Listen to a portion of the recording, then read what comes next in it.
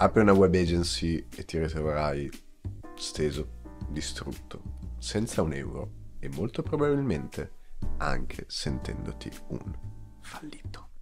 Negli ultimi anni si è fatta largo questa, questo sogno dell'agenzia.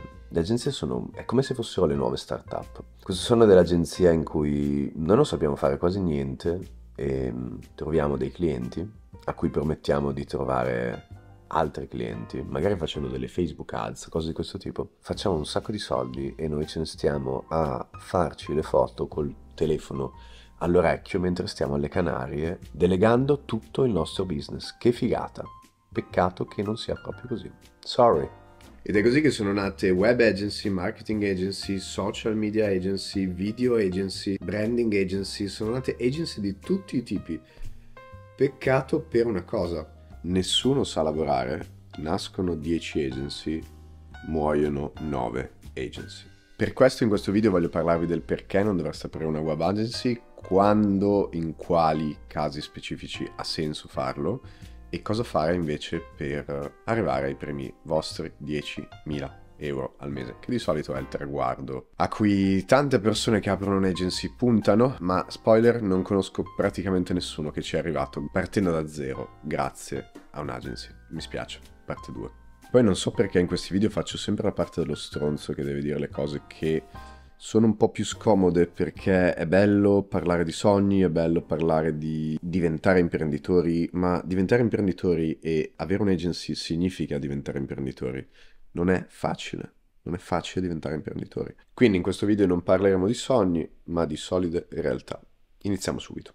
Ho comprato una lavagna, quindi ho detto perché non iniziare a usarla. Spero che vediate, possiate vedere tutto, giusto? Quindi partiamo dicendo una cosa avere un'agenzia e aprire un'agenzia ovviamente non ha solo dei contro, ha anche dei pro. E adesso li vedremo nel dettaglio.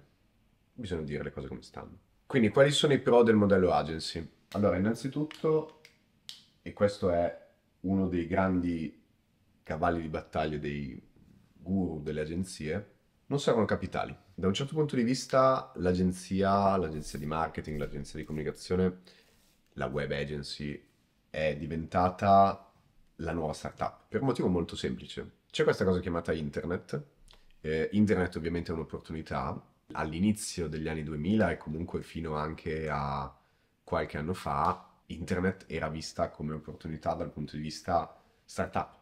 Cioè, creo aziende come Airbnb, Uber, Facebook, eccetera, eccetera. Questo mondo lo conosco abbastanza bene perché ho lavorato in diverse startup all'inizio della mia carriera e la startup era l'ecosistema nel quale potevi usare le competenze di marketing per creare un'azienda che potesse scalare in breve tempo e ragazzi è il sogno, cioè nel senso tutti sognano di creare la nuova Facebook, la nuova Uber, la nuova Airbnb, eccetera, eccetera.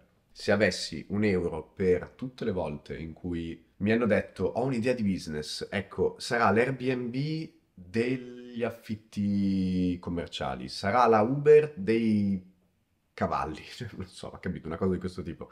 Cioè, quante persone, quanti aspiranti start-upari hanno provato a creare la nuova Airbnb, la nuova Uber, la nuova Facebook, la nuova Instagram, eccetera, eccetera. Due problemi. Il primo problema, i capitali.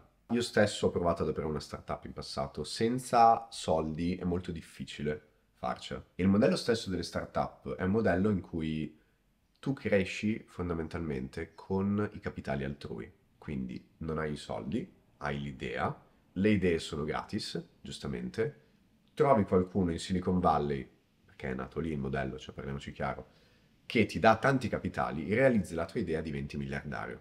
Questo sogno ha attratto un casino di persone proprio perché era visto come poco sbattimento, tanti benefici, tanti reward. Ti svegli un giorno, magari sentirete il vento fuori, oggi c'è una tempesta. Ti svegli un giorno, hai un'idea, ti basta trovare un mini team di persone che ti aiutino, magari in un garage, ogni riferimento alla Apple è puramente casuale, degli investitori che ci credano e ti ritrovi con un'azienda, se ti va male, multi, multi, multi milionaria, se ti va bene, miliardaria. Problema numero uno, i capitali. Problema numero due, che il 90, mi sento di dire il 99% se funzionasse anche il pennarello, falliscono. Ho collaborato con tante startup, ho conosciuto tanti ragazzi miei coetanei che volevano aprire startup, la maggior parte di queste fallisce. Durissima realtà, se fosse facile ci sarebbero 200 miliardi di Airbnb, di Uber e di Facebook. Non ci sono perché non è facile. E un tratto caratteristico di chi prova a attuare il modello startup, almeno fino a qualche anno fa vedevo questa cosa, e mi lasciava sconcertato, era l'improvvisazione. E questo è un tratto che vedremo anche nelle agenzie, cioè l'improvvisazione di dire ma faccio un business plan, ok, quest'anno faccio zero, uh, quest'anno vado in perdita, l'anno prossimo faccio zero, ma tra tre anni il mio business plan mi dice che farò 3 milioni, tra cinque anni farò 10 milioni, tra dieci anni farò 100 milioni. Io quando leggevo questi business plan nelle startup che mi davano il lavoro, perché io avevo 25 anni, ero appena entrato nel mondo del lavoro vero, diciamo, guardavo questi business plan e dicevo ragazzi, ma cioè non è perché io ho fatto la Bocconi, mi hanno insegnato a fare business plan e, e capisco che questo business plan non ha senso. Cioè potrei avere anche la terza elementare e capire che non ha senso. Sogni, velleità, grandi ambizioni, sogni presi in prestito da altri, sogni collettivi, quasi certezza matematica di fallire. E voi direte, questo nuovo sogno della web agency è molto meglio, perché non servono capitali effettivamente, giusto? Non ho bisogno di un'infrastruttura tecnologica, non ho bisogno di una piattaforma, non ho bisogno di nulla. Io comincio, vendo dei servizi, prendo dei collaboratori, giusto? Il cliente mi dà 10, i collaboratori mi costano 5, io mi tengo 5 come margine, semplicemente delegando e coordinando i collaboratori, vivendo da una bellissima spiaggia. Eh, vedremo a breve se è effettivamente così. Secondo punto è proprio questo, cioè non solo non ti servono capitali, ma puoi delegare. Cioè non ci devi mettere soldi tuoi e non devi neanche fare il lavoro tu. O almeno nella versione guresca è così, nella versione realistica comunque puoi lavorare con altre persone. Non devi fare tutto tu. Questo è bello, questo è positivo perché possiamo interagire, perché possiamo creare un team, perché comunque come nel, nel, sogno della startup c'erano i due Steve della Apple in un garage, adesso può esserci Marco e Mario e, o Maria che hanno l'agenzia, delegano un team e comunque creano una squadra. Bello, positivo. Terzo pro della web agency. L'online è sdoganato anche se molte persone non se ne sono rese conto, viviamo in un'epoca in cui l'online è mainstream, cioè tutti i clienti sanno di aver bisogno di copy, sanno di aver bisogno di social, sanno di aver bisogno di email, sanno di aver bisogno di pubblicità. Tutti. Viviamo in un mondo che non è il mondo di 5, 6, 10 anni fa quando ho iniziato io. Adesso anche il panettiere sa di aver bisogno di una gestione social. E questo significa che è un mercato che è in completa espansione. Se facciamo la curva di adozione, molto probabilmente siamo qui. Siamo nel mainstream. Siamo in un'epoca in cui anche le nonne fanno le influencer. Siamo in un'epoca in cui chi non ha ancora queste competenze, le competenze online, digitali, è indietro. È totalmente indietro. Ormai queste cose le impari quasi alle università. Le università o comunque le scuole mainstream le università, le scuole, le accademie mainstream sfornano ogni anno decine di migliaia di persone che hanno imparato queste skill online. Magari non con ottima qualità, magari non sono al 100% sul pezzo, questo è un altro problema. Però fare le Facebook ads oggi è una skill mainstream. Fare il copywriter oggi non è più una cosa di nicchia. Oddio, non ci sono i copywriter.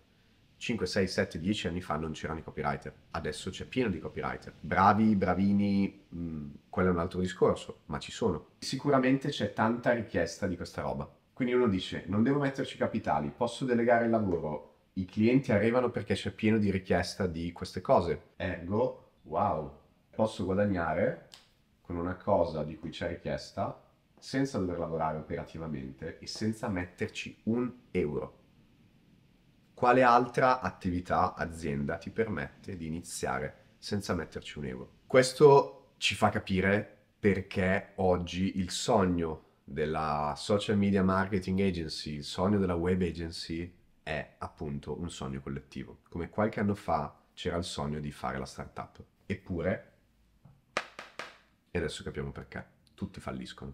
Questi erano i pro, adesso capiamo quali sono i problemi vedete che ho degli strumenti veramente avanzati, addirittura un fazzoletto per pulire la lavagna. ma ce li facciamo andare bene. Dopo i problemi capiremo anche come risolvere questi problemi, quindi state ovviamente fino alla fine.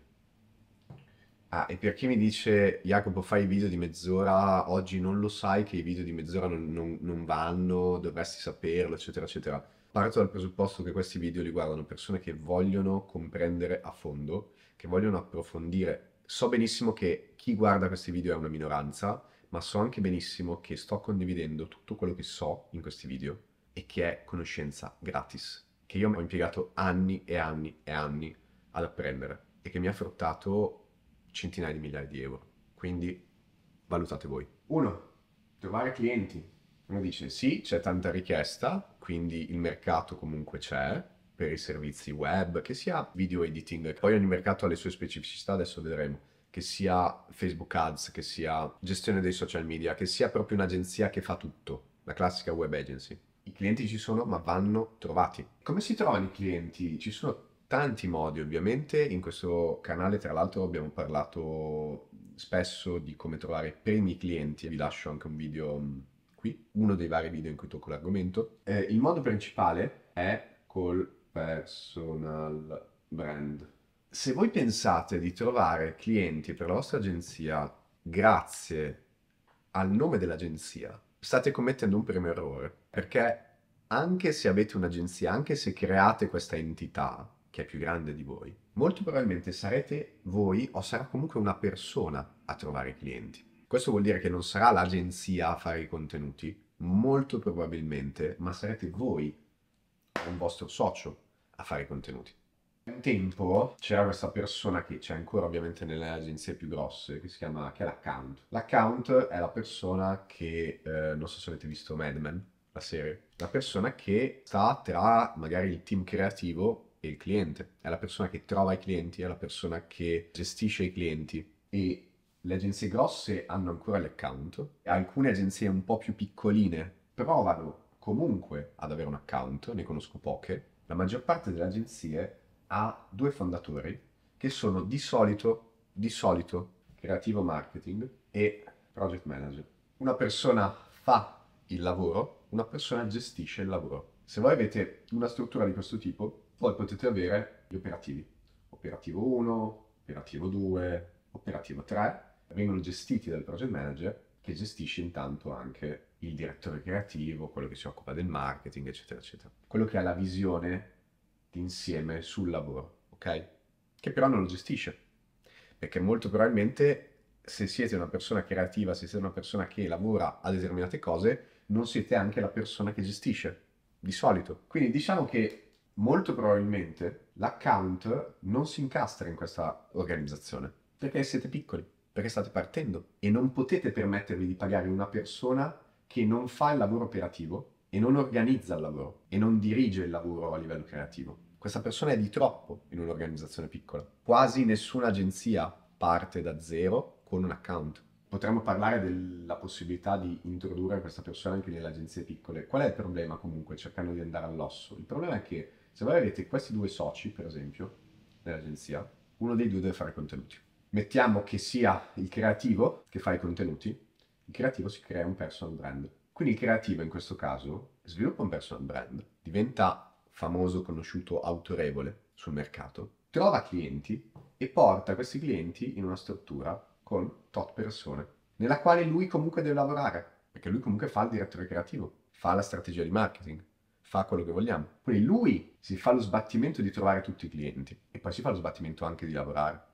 Secondo problema, e qua ci arriviamo, margini. Mettiamo anche che tu ti sia fatto un bel personal brand, giusto? Hai trovato un cliente e hai chiuso un lavoro a 5k, prezzo realistico, né troppo alto né troppo basso. Preso questo lavoro da 5k, molto bene, qui se ci fossi stato solo tu ti saresti beccato 5k, qui devi pagare un socio, quindi lo devi dividere per due, e già diventa due e mezzo, e poi devi pagare magari due o tre risorse, quindi finisce che ci, ci guadagni forse 1000 euro. Sto alto, eh?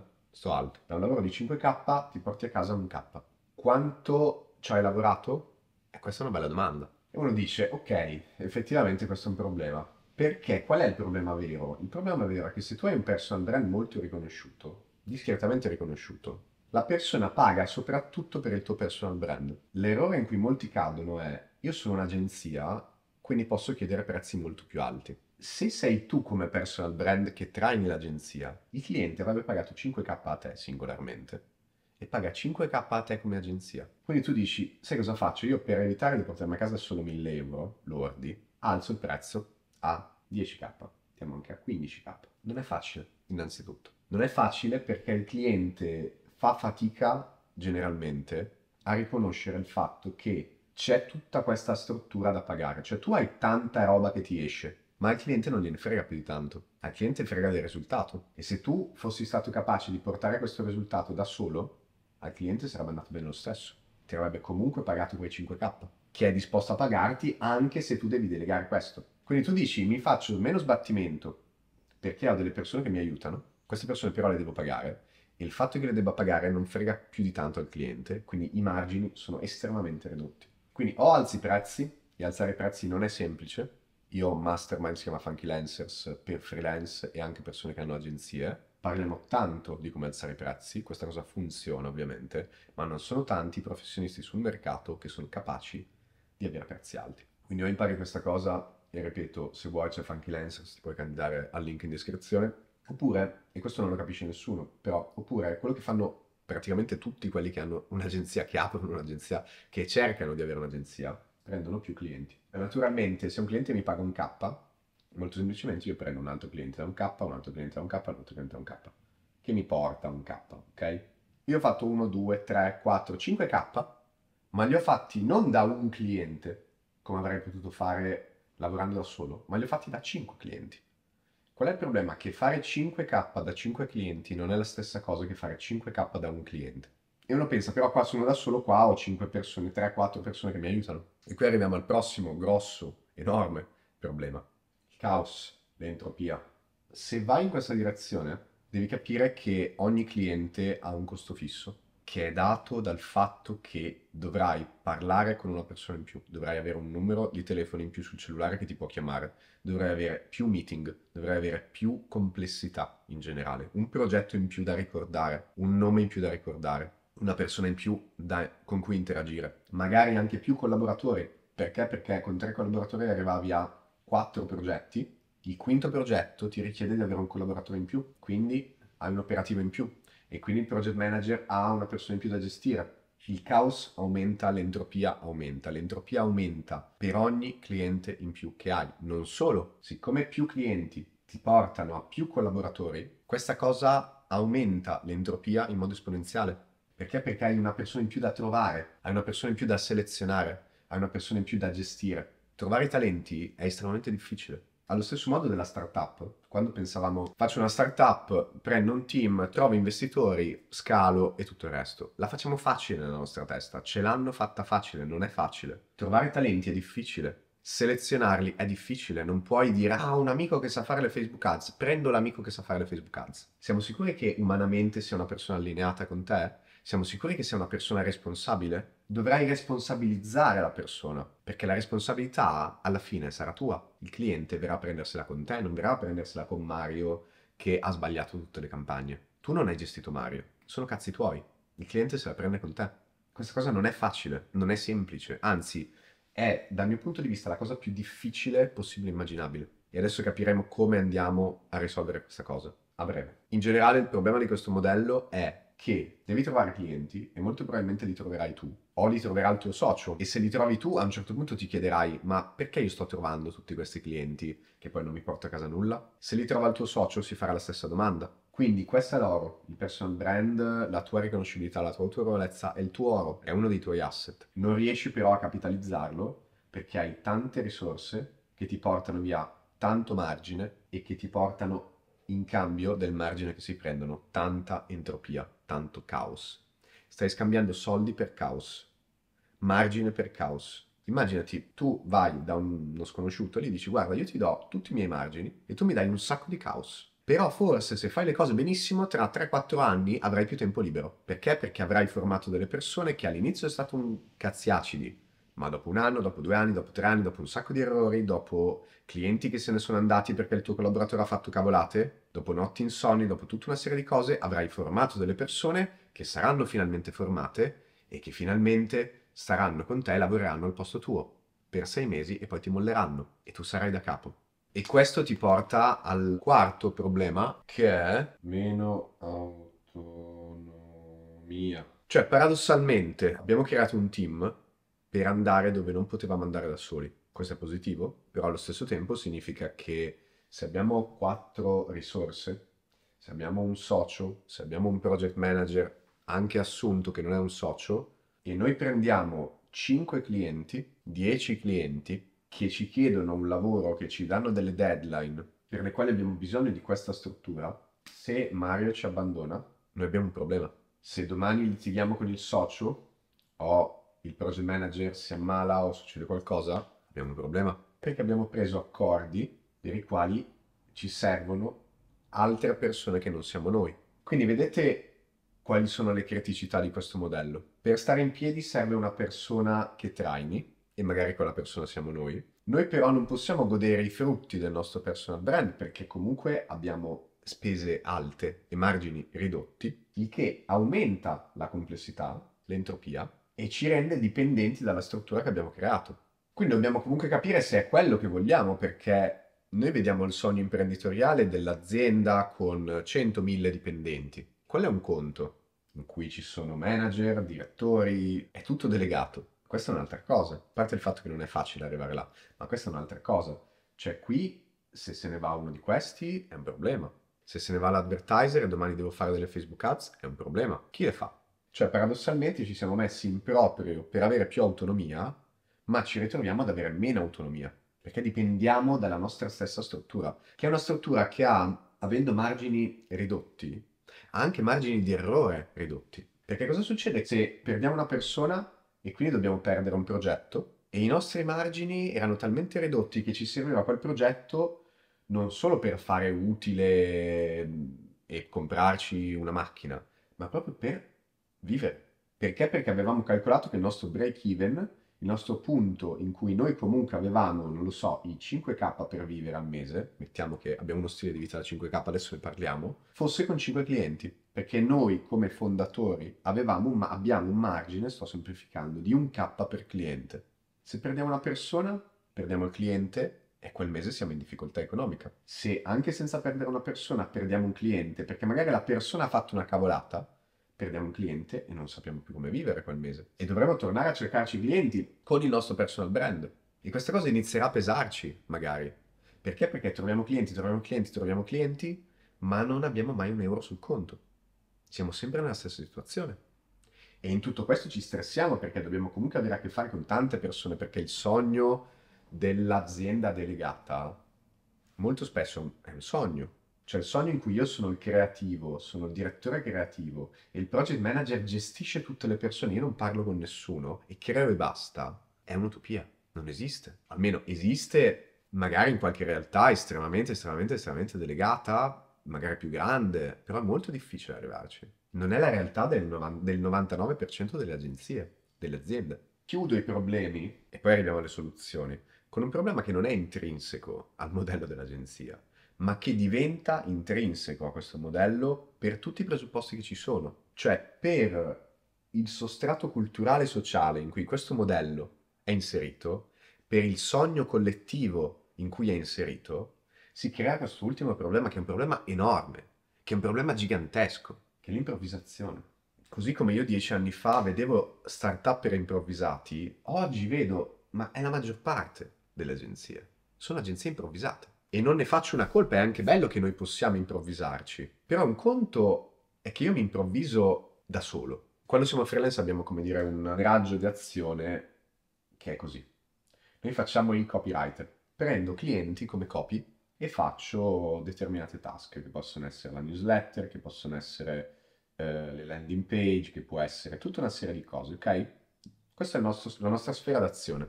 Quando decido di aprire un'agenzia, magari decido di fare anche i video, decido di fare anche la gestione dei social, decido di fare anche le ads, decido di fare anche tutta una serie di altre cose per cui mi servono operativo 1, operativo 2, operativo 3, eccetera, eccetera. Ok? Queste le faccio tutte io. Queste le fa una persona 2, una persona 3, questa la fa ancora la 2, questa la fa la 4, questa la fa la 4, questa la fa ancora la 3, per dire, ok? Tutta una serie di cose. È ovvio che io posso improvvisarmi copywriter e magari nell'arco di qualche mese comunque, ovviamente non mentendo ai miei clienti e spacciandomi per esperto, comunque faccio un po' di esperienza e ne so un po' di copy, ma è molto più difficile saperne di tutte queste cose qui. Molto più difficile. E questo che cosa, che cosa causa? Causa il fatto che arriva il cliente e ci dice, ah, tu hai una web agency, perfetto, a me serve il piano editoriale, mi serve il video di lancio, mi serve la landing page, mi serve tutta una serie di cose. Dico, perfetto, ho tutte le persone che me lo fanno ma l'elefante nella stanza e il grosso, enorme, gigantesco problema qual è? È che, e questo è un problema intrinseco a molte, molte, la maggior parte delle web agency, è che non puoi delegare, non puoi delegare ciò che non sai fare. Enorme problema c'è questa idea della complementarietà, no? Io sono un creativo, so fare, eh, ideare, so avere idee, so scrivere, so fare tutta una serie di cose. Mi prendo un project manager e poi prendo l'advertiser, prendo il videomaker, prendo tutta una serie di persone. Se io non so fare quelle cose, non le posso delegare. Se il cliente viene da me e mi dice guarda che ho bisogno di tutta una strategia di comunicazione declinata, poi in questo, in questo, in questo, io dico cavoli che bello, gli faccio un bel preventivone da 15k in cui io faccio la direzione creativa, bel, bel termine, direzione creativa, e poi ho gli operativi che mi fanno l'advertising, che mi fanno la SEO, che mi fanno tutta una serie di cose. Ma se io non le so queste cose, non le posso delegare, perché il cliente lo mando al diavolo. Cioè il cliente lo mando a, veramente a puttane. Sapete quante web agency dicono io ti faccio tutta una serie di servizi integrati, eccetera, eccetera. Poi prendono un collaboratore, collaboratore 3, Collaboratore, eh, guarda, questo è il progetto. Adesso fammi i post social. Il collaboratore dice, sì, ma eh, come faccio a capire cosa devo comunicare? Quali sono i valori del progetto? Qual è la sua storia? E il collaboratore si trova, questo è il cliente, questa è l'agenzia, il collaboratore non si trova, questo chiamiamolo collaboratore, il collaboratore dovrebbe trovarsi qua, in cui può parlare col cliente per avere, in questo caso, la storia, i valori, tutta una serie di cose, può parlare con l'agenzia per appunto avere i brief, eccetera, eccetera, ma molto spesso il collaboratore si trova qua. Quindi il collaboratore si trova lontano dal cliente, non può comunicare direttamente col cliente per avere quello che vuole, per esempio i valori, la storia, tutto il capitale di storytelling che il collaboratore dovrebbe raccontare, ma ha come filtro come intermediario l'agenzia che non capisce che cosa serve al collaboratore per poter deliberare il lavoro. Perché? Perché non l'ha mai fatto. Perché tu qui hai un proprietario di agenzia che è un tizio che si fa le foto alle Canarie col telefono mentre dirige il team in tutto il mondo, che non ha mai fatto il copywriter e non sa che a te copywriter servono determinate cose dal cliente. E questo crea caos. Perché? Perché quello dell'agenzia dice al copywriter collaboratore, eh ma scusami, tu sei l'esperto, tu sei il copywriter, ti chiedo 10 post, fammi 10 post. Quanto vuoi per 10 post? E questo crea un caos totale perché questo non sa un cazzo, questo non ha mai lavorato in un'agenzia e sicuramente non sa fare il lavoro di un'agenzia, non sa tutti i dettagli, i micro particolari, le meccaniche, il funzionamento di questo lavoro.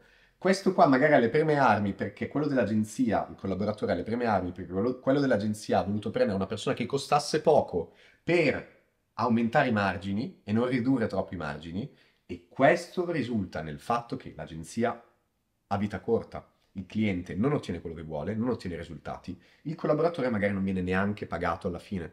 Sapete con quante web agency ho lavorato all'inizio della mia carriera e mi hanno chiesto lavori per cui usavano grossi nomi, ma sai perché qui usiamo una strategia integrata di cose, eccetera. Poi erano delle puttanate che mi hanno pagato una miseria e che ci hanno messo 3, 4, 5 mesi per pagarmi. Sapete quante persone conosco che non vengono neanche pagate alla fine? Perché? Perché questa struttura non sta in piedi.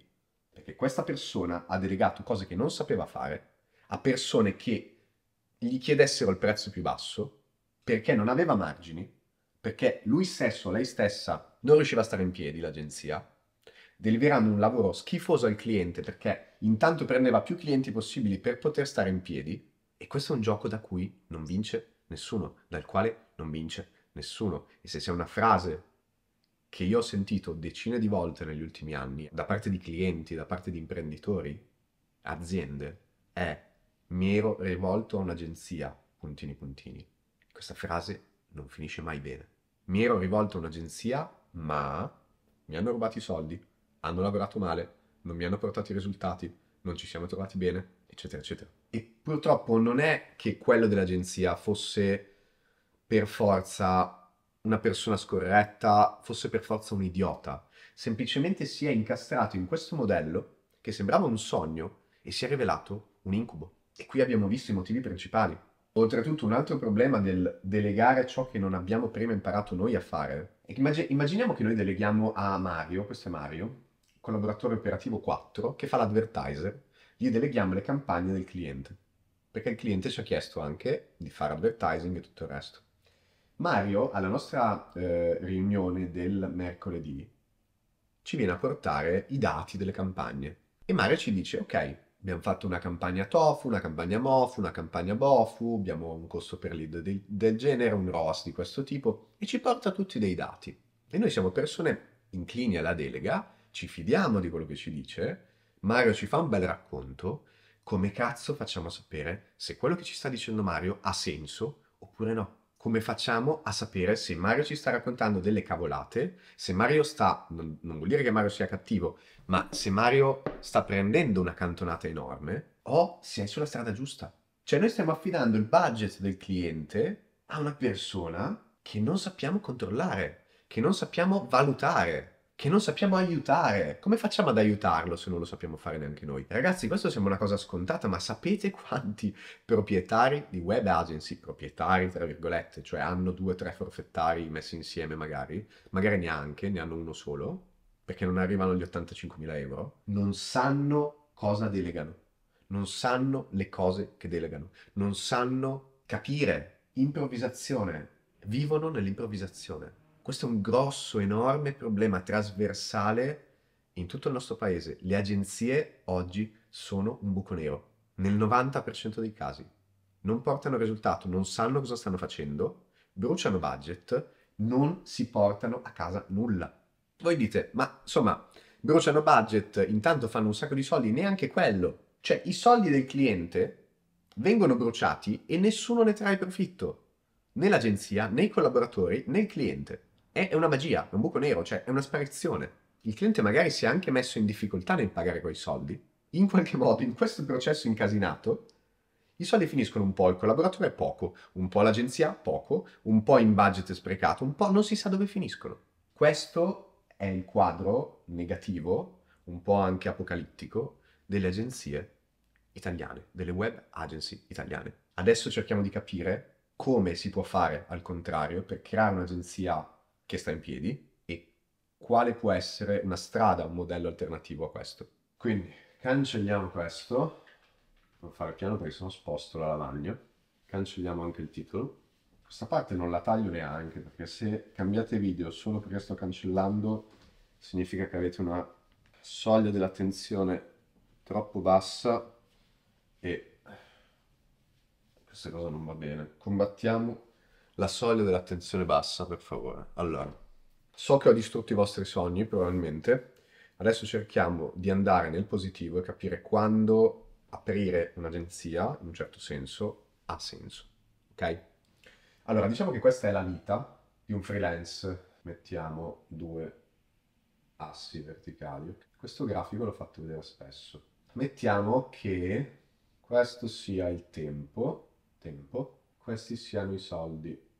Ok. E che questi siano 10k. Qual è il più grosso problema? Il più grosso problema è che molti freelance iniziano un'agenzia qua. Cioè io sono all'inizio, magari faccio il dipendente, non so fare niente, faccio un corso di Facebook Ads, faccio un corso di copywriting, faccio un corso di quello che vuoi. E dico, sai cosa? Apro un'agenzia. Trovo, come abbiamo detto, una persona che sappia fare le cose che io non so fare, apro la mia agenzia. Qual è il problema di questa cosa? Che io sto, vedete, qui eh, i soldi sono a zero. Quindi Mario guadagna 0 euro. Vuole creare un'agenzia. Ha questo sogno. Trova una persona che si chiama eh, Giovanni Giovanni che guadagna 0 euro e si dicono, sai, Mario dice, ascolta Giovanni, perché non ci mettiamo insieme? Facciamo un'agenzia, troviamo clienti e tutto il resto. Qual è il problema? Che 0 più 0 fa 0, sorprendentemente.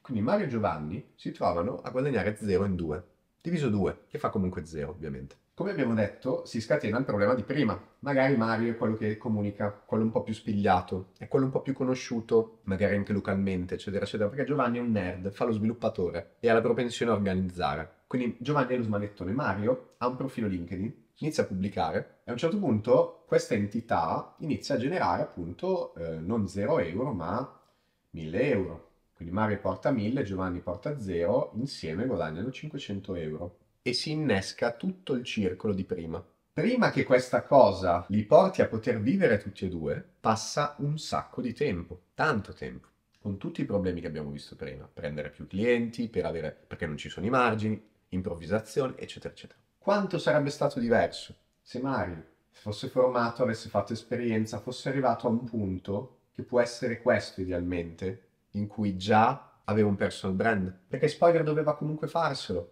per ottenere clienti. Quindi tanto vale fartelo, no? Tanto vale iniziare facendoti un personal brand, tanto vale iniziare trovandoti tu i clienti, che non devi dividere la cosa per due, giusto? Tanto lo dovrai fare comunque. Dovrai comunque trovare clienti dopo, dovrai comunque farti un personal brand dopo. Quindi inizia prima.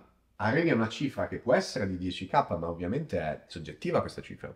Questa cifra può essere di 3k, 4k. Che cosa dobbiamo capire? Come possiamo capire qual è la cifra e il momento in cui ha senso iniziare a delegare.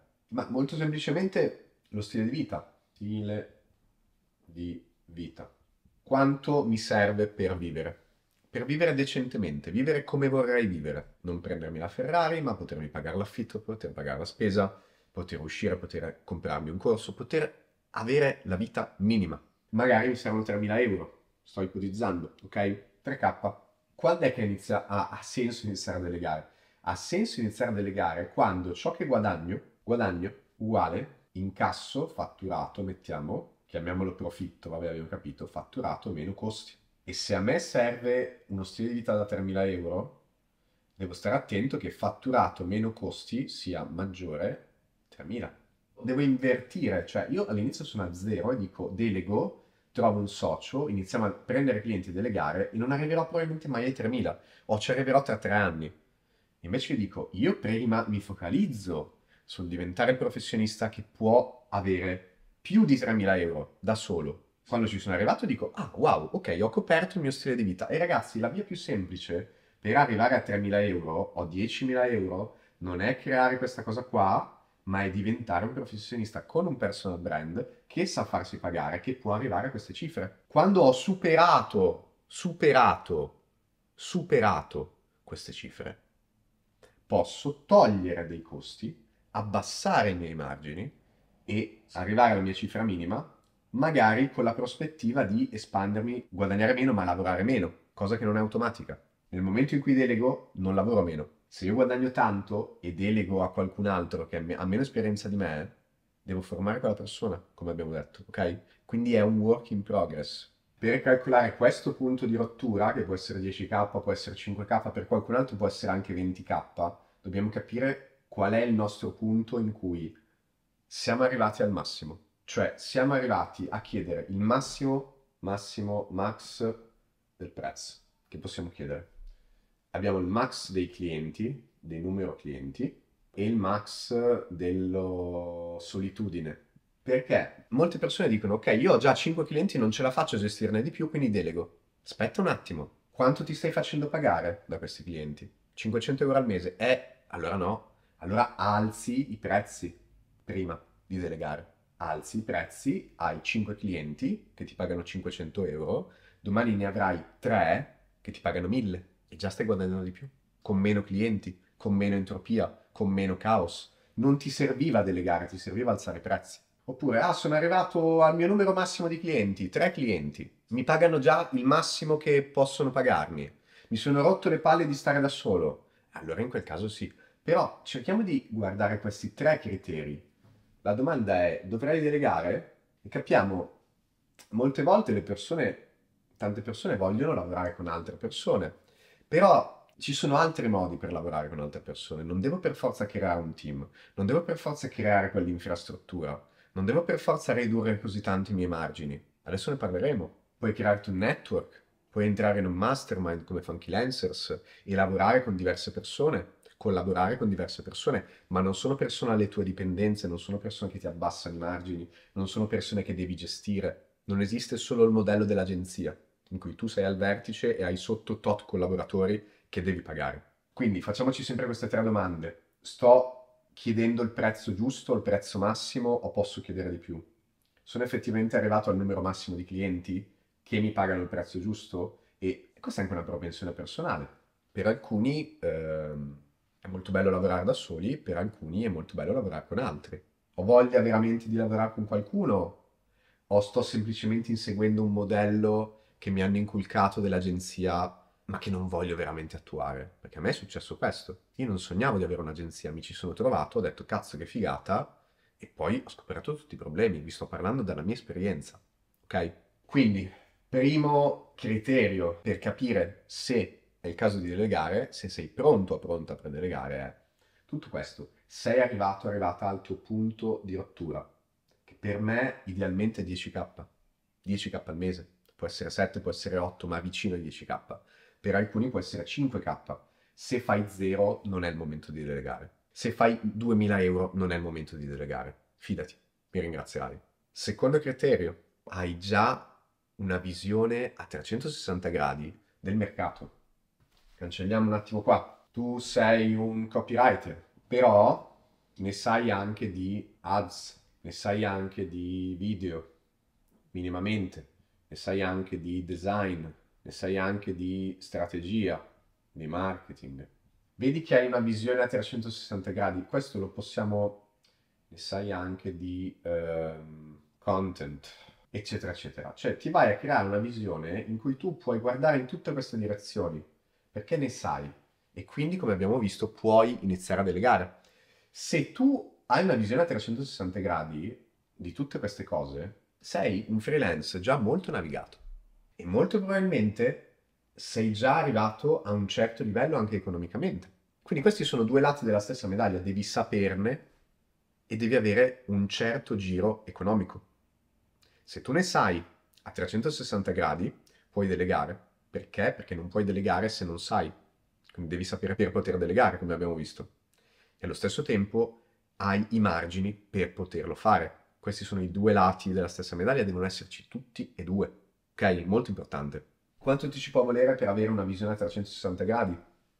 È ovvio che non tutte le agenzie sono agenzie che fanno tutto. Tu puoi essere un'agenzia che fa solo gestione social. E in questo caso non ti serve sapere di determinate cose, però pensa anche solo a un'agenzia che fa gestione social. Deve comunque saperne di ads, perché sui social comunque sponsorizzi. Devi comunque saperne di video, perché sui social i video sono importanti. Devi comunque saperne di design, devi saperne di content, devi saperne di copy. Quindi anche un'agenzia che è settoriale, solo social, solo Instagram, comunque devi saperne di tante cose e quindi devi aver accumulato una certa esperienza e molto probabilmente se hai accumulato una certa esperienza hai anche un certo minimo livello di fatturato.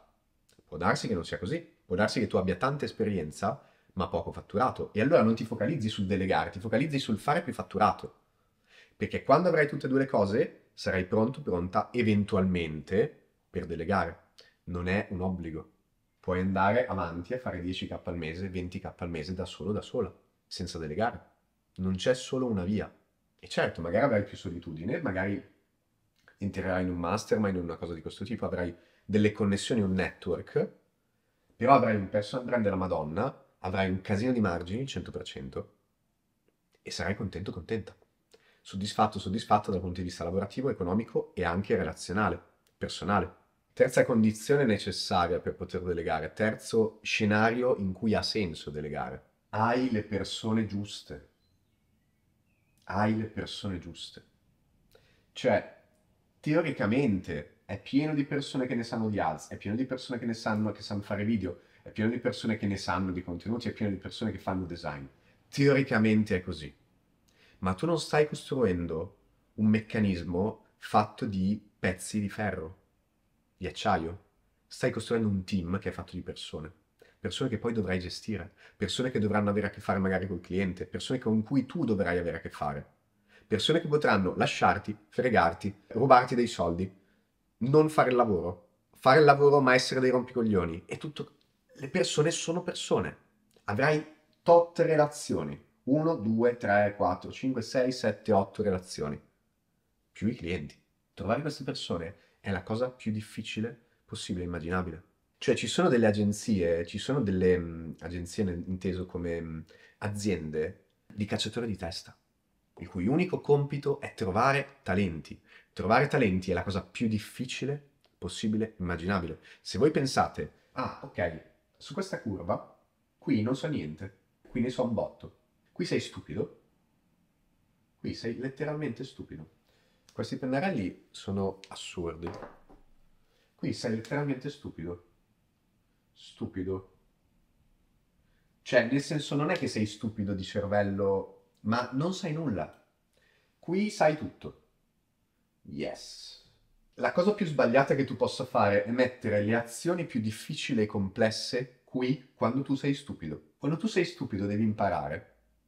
Devi imparare la tua skill, come avere a che fare con i clienti, come farti pagare, più o meno, come non mandare a puttane tutto, non mandare a puttane, eccetera, eccetera, eccetera. Queste sono le skill di base che tu devi apprendere all'inizio. Quando sei qui hai le spalle molto strette, molto strette, perché non hai mezzi mentali per gestire la complessità. La cosa più stupida che tu possa fare, e la fai perché sei stupido qui, quindi non sai che è così, ma in questo video lo stiamo anche capendo e stai imparando la mia esperienza di ex stupido, e sono stupido ancora, ma sono uno stupido più vecchio adesso, che ha capito qualcosa, è mettere la cosa più difficile, cioè trovare i talenti e trovare il team giusto, trovare quel mix di persone che ti permetterà di trasformare questo non in un incubo ma in un sogno, metterlo all'inizio. Quando tu sei stupido, se tu sei stupido, come fai a trovare persone intelligenti? Se tu sei stupido, come fai a fare una cosa che richiede di essere intelligenti? Furbi. Stupido e intelligente è una metafora, ok? Ignorante, che non sa, senza esperienza, persona qui che sa, che ha esperienza, che ha capito, eccetera, eccetera. Ok? Questa task la devi spostare più in là possibile, più in su. Quando tu avrai il massimo delle skill, il massimo dei soldi, il massimo dell'intelligenza, devi massimizzare la tua intelligenza, i tuoi soldi e le tue skill per poter fare questa cosa che è estremamente complessa la devi spostare più in là possibile. Se no è come dire che siamo dei bambini neonati e ci buttano nell'oceano facendoci nuotare. Immaginiamo di avere, prima o poi nella vita avremo questa task, se vogliamo, di nuotare nell'oceano, mare aperto, nell'oceano tempestoso. Volete farlo quando siete dei bambini nel business e non sapete neanche quasi camminare? O volete farlo potendo scegliere quando siete degli adulti navigati? Ovvio che la propensione alla solitudine, alle persone, a tutte queste cose è personale, ma questa cosa provate a spostarla quando avete soldi, quando avete skill e quando siete navigati. Vi farà la differenza tra fallire e avere un sacco di successo.